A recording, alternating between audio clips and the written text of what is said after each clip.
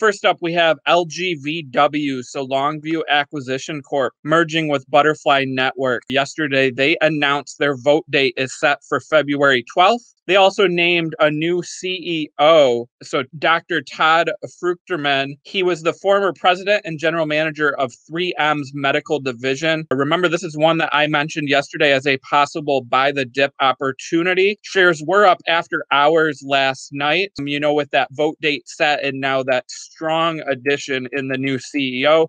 So, this is definitely one that I am keeping my eyes on.